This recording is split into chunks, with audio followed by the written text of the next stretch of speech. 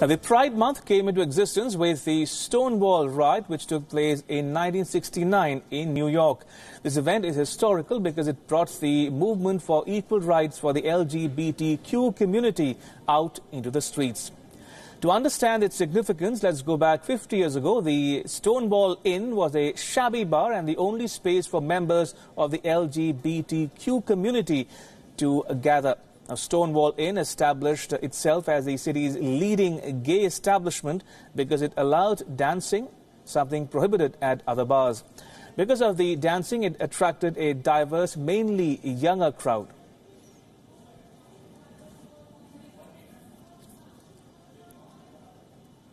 It was against the law for gays to dance. It was against the law for males to have contact. Uh, slow dancing was out of the question. Uh, you just couldn't do these things. So, in order to be able to dance, whatever dance, or to hold someone in a slow dance, was a sense of freedom that was so enjoyable and rare.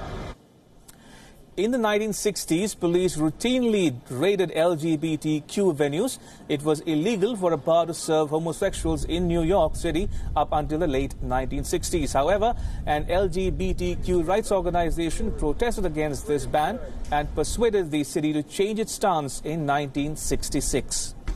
Although the law changed, police still found reasons to raid gay bars. Often they were raided under the pretext of being disorderly or to have their liquor license inspected.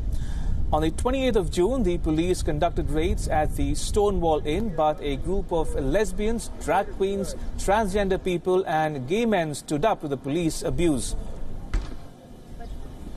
And I think that night, standing outside there, I think many of us said, blacks are fighting for their rights, women are fighting for their rights, Latinos are fighting for their, their rights.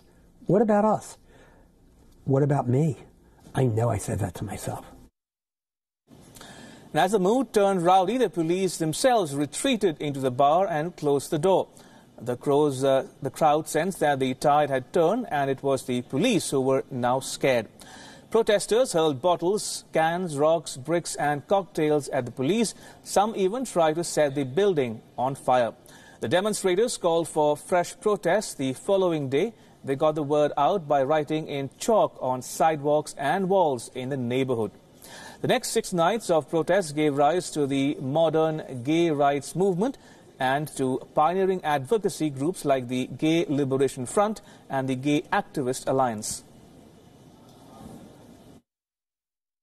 We still have to be as vigilant as ever or more, but we have something, if we have to fight for our rights, we have rights to fight from. We had nothing then. And I think this whole world has changed, and Stonewall's, one street has become a global thing. To me, Stonewall's a verb.